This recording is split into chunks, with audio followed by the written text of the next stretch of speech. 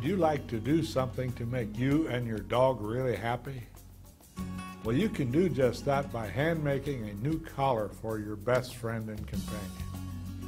In this program, we will show you how easy it is to make a really nice dog collar.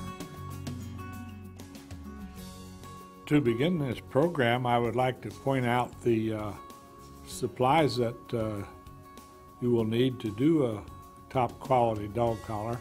First of all, we need some leather strips. In this case, it's uh, I'm using 8 to 9 ounce vegetable tanned leather. You can do it with a strip that you can buy already cut to uh, the width uh, and in various lengths. And also I've got uh, another piece for a smaller dog, which is narrower and a little bit thinner. Uh, also we have here a heavy duty buckle for a large dog with a large solid uh, steel D. And for a smaller dog, we have a, a center bar buckle with a roller on it with a smaller D. And of course, we have uh, some rivets to uh, put it together. And also here I have a, uh, a leather keeper that I made out of a smaller piece of uh, vegetable tanned leather.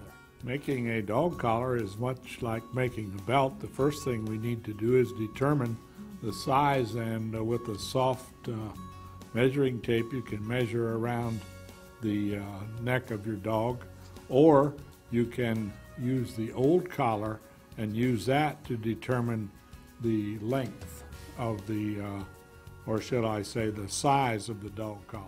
We will begin by uh, preparing the buckle end of our dog collar uh, but before we do that, we want to make sure that our piece of leather is long enough.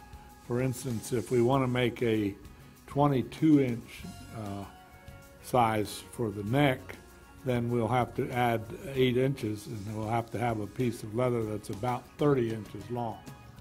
First thing to do is uh, prepare the end of your leather and I've done that with a strap end punch and put a nice point on there. Now I will take a 1 8 inch uh, drive punch.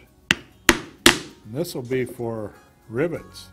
And we will put uh, three of those on here and we'll make them about uh, one and a quarter inches apart. So I will make a mark here and another one one and a quarter. Now, if we were making a belt, and basically that's what a dog collar is, is a belt with an extra ring or two on it. Uh, instead of two holes, we'll make three holes.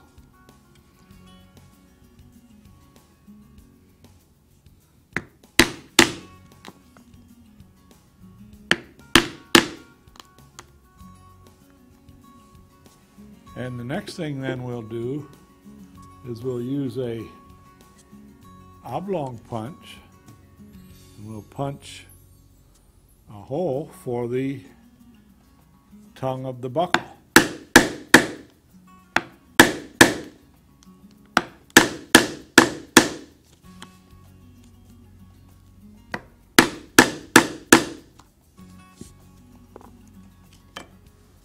And then we will punch three more holes, starting one about a half inch from the buckle slot, and two more one and a quarter inches apart.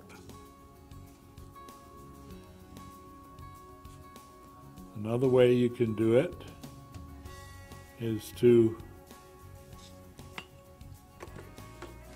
fold your leather back line up the first hole and with a pen mark the next two. Then you can punch those from the back side. It doesn't really matter.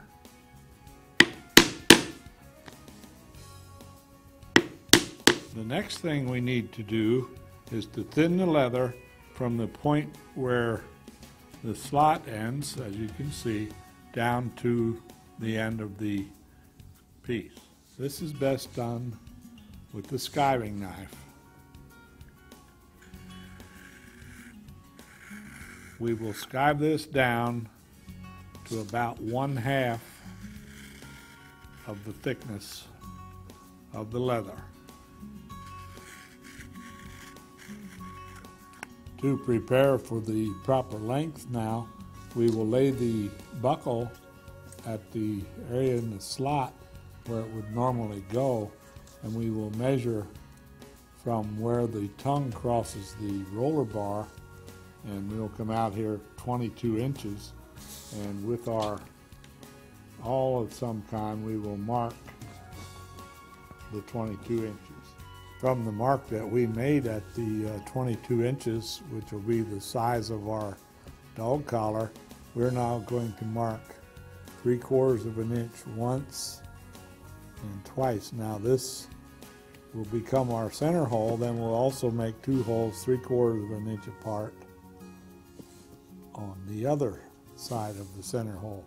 Now at the end, from the end hole down, we'll go about four and a half inches and we'll make a mark there and that will be the tip of our dog collar. And now we have uh, cut our tip on. It's a matter of punching the holes for the for the buckle tongue. Now in this case, I'm punching my holes with a one quarter inch punch. Now we will use the uh, edge beveler and we will bevel the edges.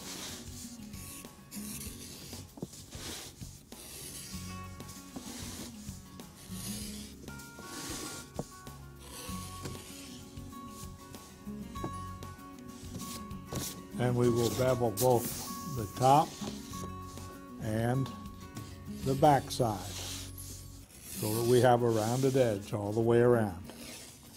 Now if you're going to tool the dog collar, now is the time to do it. As you can see I have tooled and uh, and put an antique finish on my dog collar and I am now ready for assembly. The assembly is quite easy. I will first take the large D-ring and I'll slip it in position as you see me here. I'll take a leather keeper that I've made and I will put this down there as well.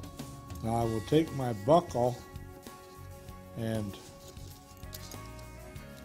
put the, the tongue through the slot as you can see me here. Then I can fold the end back and now I can start my riveting.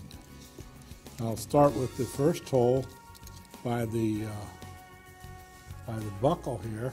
To secure the buckle, I will take the the post of a rivet and I'll push it from the bottom up through the first hole as you can see me doing here and then I will take my cap put the cap in place and with the rivet setter I will securely set this rivet. Now I will move the keeper up into position as you can see. And now I will take another rivet. I will move, push the post up through the, the hole Put a cap on. And with the rivet setter, securely set this rivet. Uh, someone has asked, why do we not use snaps? Well, chances are that you're not going to change the buckle, so there's really no reason to use a snap and also especially with a large dog collar for a large dog chances are it would not be secure enough and the dog may pull the snaps apart.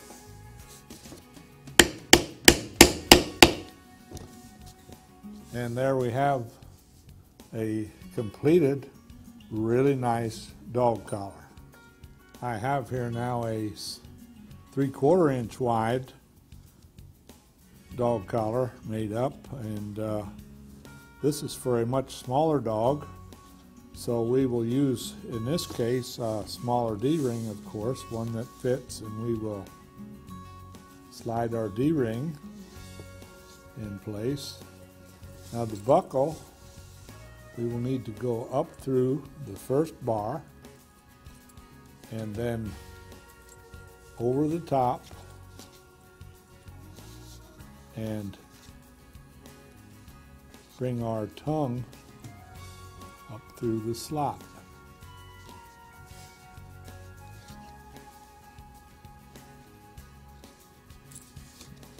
Now we fold the tab back and we will now secure it with the rivet. Now in this case we'll bring in a small anvil because uh,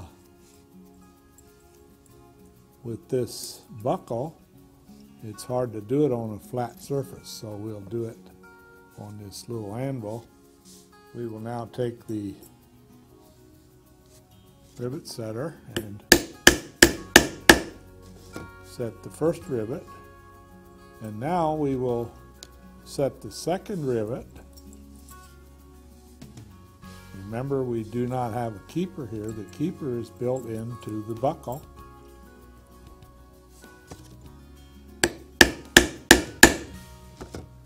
And now we will bring the, the D-ring into position. And set the last rivet.